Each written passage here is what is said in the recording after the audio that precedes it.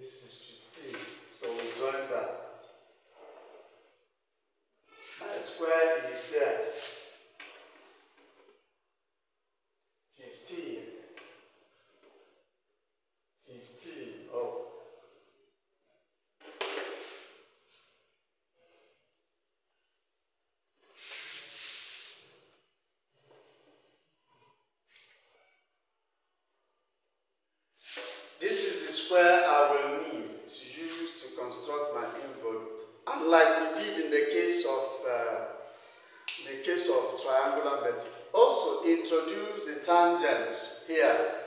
And that will look like we start from here. It is shortest. And I will call this place 1. The other one will go up.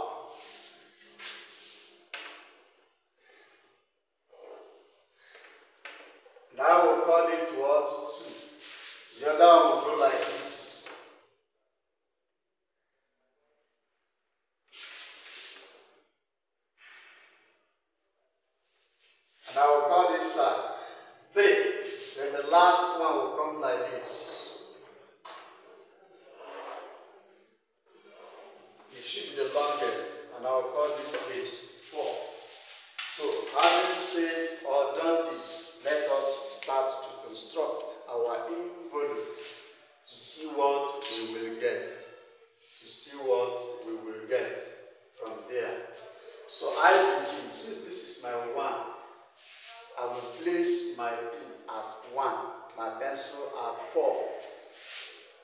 Bring me to this place. Bring me to four. I travel. I will use red now. The other is not too clear. I stop here. Okay, let me use black. L. Let me use black marker.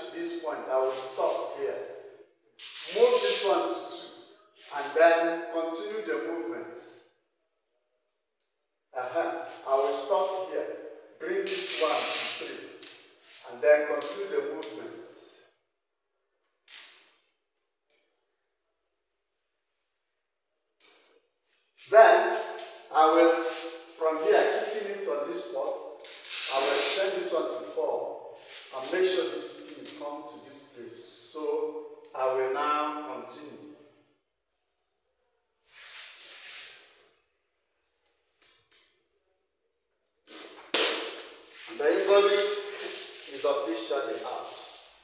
Can you see that? This is the involute. So you have been able to get the involute proper by using the square method. These two methods that finished now are easier, the easiest. The last method that we'll be doing now, which is the circle method, is a bit difficult. It will take a small time. Now, after it, or when I am done with it, we are now going to insert a tangent. And the method I use to insert tangent in that of circle method is the same method you're going to use to insert tangent in that of what? Square as well as, uh, you know, triangular method. Why always, sometimes, most times, will ask you, when they ask you to construct an involute, they will, in the end, ask you to enter in tangent. So we will definitely do that now. So let's go to the third method, which is what? Circle method. Therefore, let us now draw the circle. Let's choose the circle. First, by drawing the center lines of the circle. Let's draw the center lines of the circle. Place it like this, um, this way. Raise my hand up because I need enough down here. So let me draw the center line. It shouldn't be that too big. The other one will be like this.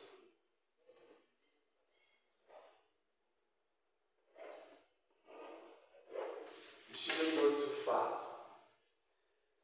When you get to the center line, which I will later reduce, use the center line to draw your circle. And the radius of the circle I'm working with is just 10. The radius is what? 10. Here. It's already 10. Okay. So let me measure 10 in my own ruler. I've measured out 10. I have measured out 10. So draw the circle.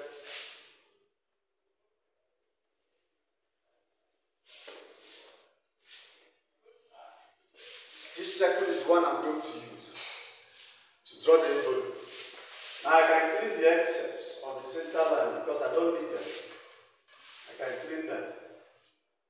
The next thing you are going to do in this draw is to what? Bisect the circle. Sorry, divide it into 8. If you want, you can divide it into 12. But 8 is preferable just to save you the stress and time. So how do we divide it? Without wasting time, let's use the simpler method, which is the use of set square, 45 degrees set square. Place it here and take note of this point. Come to the other side. Take note. Please make sure that this is pointing. This line is pointing to the center of this circle. Take note of the other one. Draw a line from here to the center to pass here. Draw a line from here to the center again to connect this side. You have succeeded in dividing this thing into eight equal parts. Having done this, the next thing to do is for us to enter tangents. But first of all, choose your starting point. Now, I will call here 1, here 2. Number them. 3 clockwise or anti-clockwise. 4. But I suggest you go anti-clockwise for clarity. 5, 6, 7, and number 8. Do you see that? And unfortunately, this numbering is very wrong. So let's do the numbering correctly. It's supposed to be like this. We are starting with 0. We are starting with what? 0. So that here will be 1, here will be 2, here will be 3, here will be 4, here 5, 6, seven, uh, five, six. This is seven. Then eight and zero will meet. That is how it's supposed to be. Eight and zero supposed to meet. Now, having done that, we now come to this point. Introduce the tangent. The tangent will start from zero. The start at zero is the longest. So it's going to be like this. It's going to be the longest. Please draw a tangent. Let it go to be the longest. the number tangent at 1 will be the shortest. Place it also. Do you see I'm placing this on top of this line? This side on the line, 90 degrees there to give me the tangent. Shortest. I turn it again to this one. Going this way. It's going to be like this. Okay?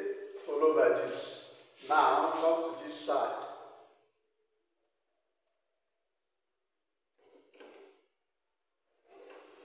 Aha, you see that? I turn it the other way around. You see that? I turn it this particular way.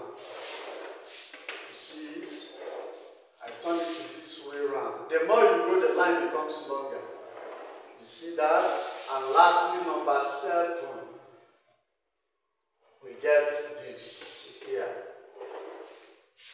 So the longest line will be the line that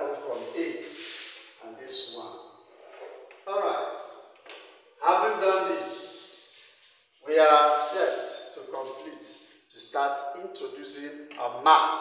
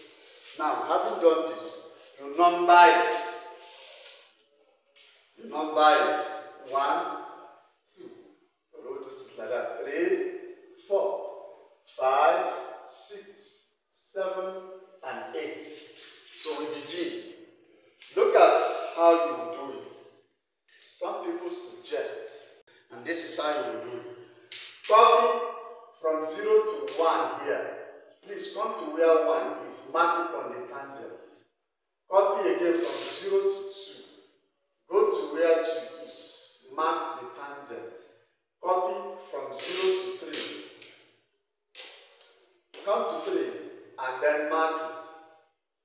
Copy from 0 to 4. Come to where tangent 4 is and mark it. Copy from 0 to 5. Come to 5 and the tangent and mark it. Copy from 0 to 6. Go to 6 and get the tangent of 6. Mark it. Copy from 0 to 7 and go to 7 and mark it. Officially, the last one is 8, which is here. So, it's going to be here. Now, let us see how we're going to bring out the chord. If you have French chord, you can join the points straightly. But if you don't have French chord, you can still use your compass to do it. So see what you will do. How you're going to join the point so the tangent will come out. Now, please start from 1, not 0. Place your pin at 1. Let's start your movement from 0 and stop at 1. Stop at 1. Next, move your hand to 2. Take your hand to where you stopped at 1. Continue your journey. To stop at 2. The next one, move your hand to three. Take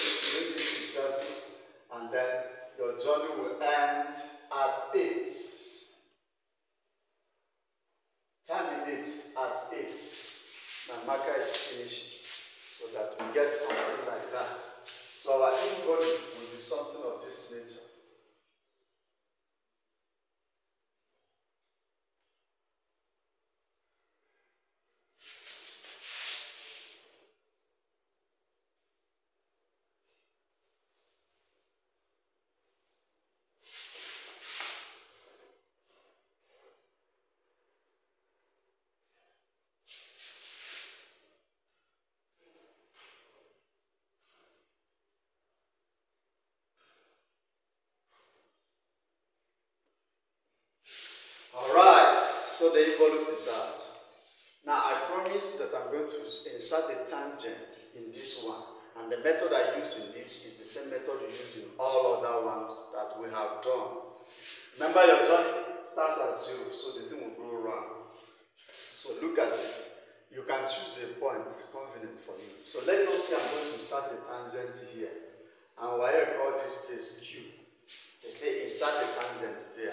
See what step you're going to do. First of all, come to the center of the circle. Draw a line to connect that Q. Are you listening? Listening attentively. So I draw a line to connect this to the point where the tangent will pass. The path. I have drawn the line to this point. Is it clear now?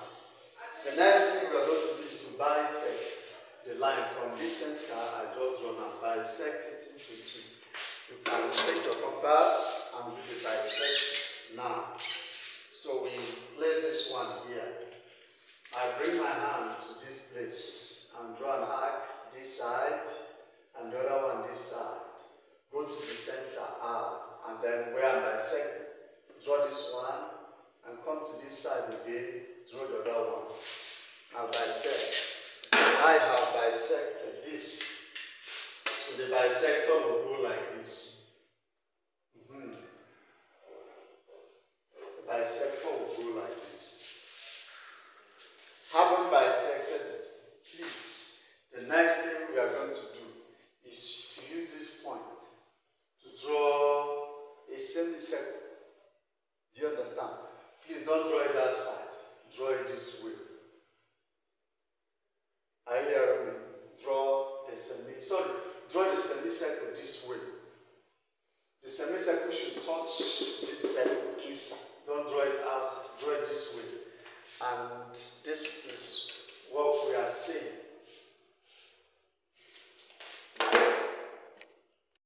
The semicircle in question will have this distance from here to here as its diameter. So you're going to draw a semicircle either this direction or you draw a semicircle in this direction. Do you understand? Meaning you're going to place your pin here.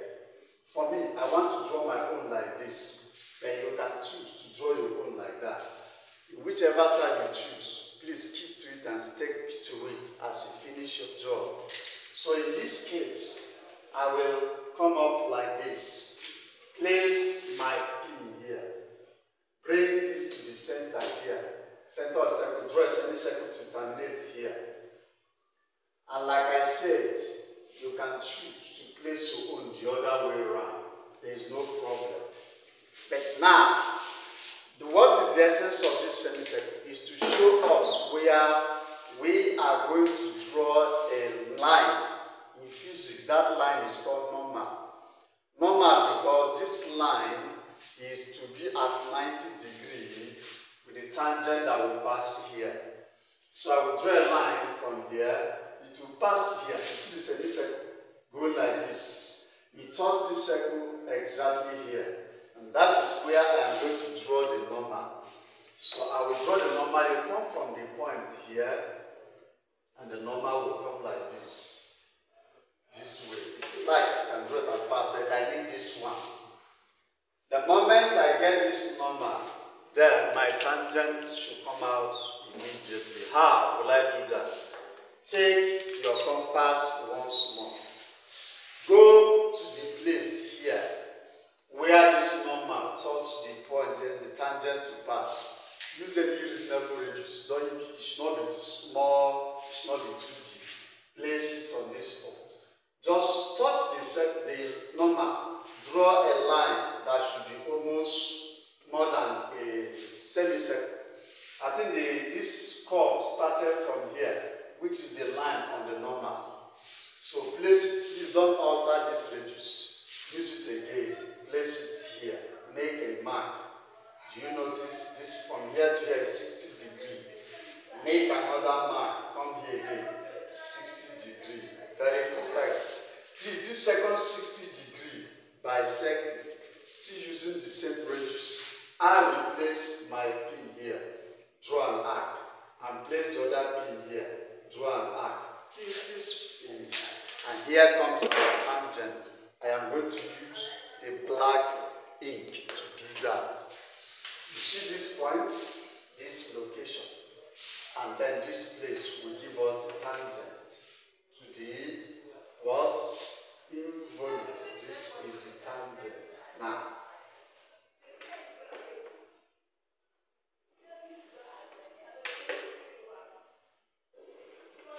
tangent to the involute has inserted. In case you to go this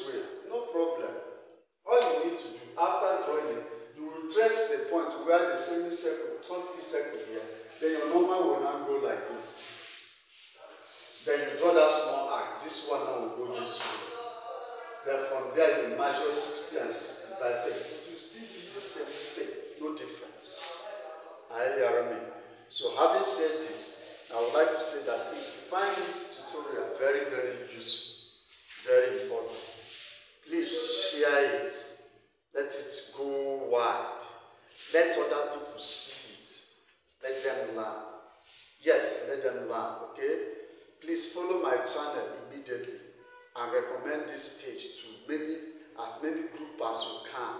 Because this is a section I have chosen because of so many calls coming to me from my YouTube page, which I also want you to subscribe to now, so I can be getting these tutorials correctly. I have made a promise I will start teaching the AC But in case you don't know my YouTube page, please just go towards the particular page I titled YouTube dot dot com slash we call it what? Spec sorry we call it uh, ZealTek capital ZealTek tutorials you can see this on the screen it's on the screen the correct this thing ZealTek tutorial please search out this YouTube channel. Go there. You will see solution set objective questions starting from 2014 till date. They have been answered. It will assist you to do more in your WAEC and as a teacher to also be able to prepare your students for exam coming. Thank you for listening. Very soon I shall compile questions which I will give out free. Talking about past questions, compile them in PDF format and then when they are ready, I will make them available at affordable price. Thank you and God bless you.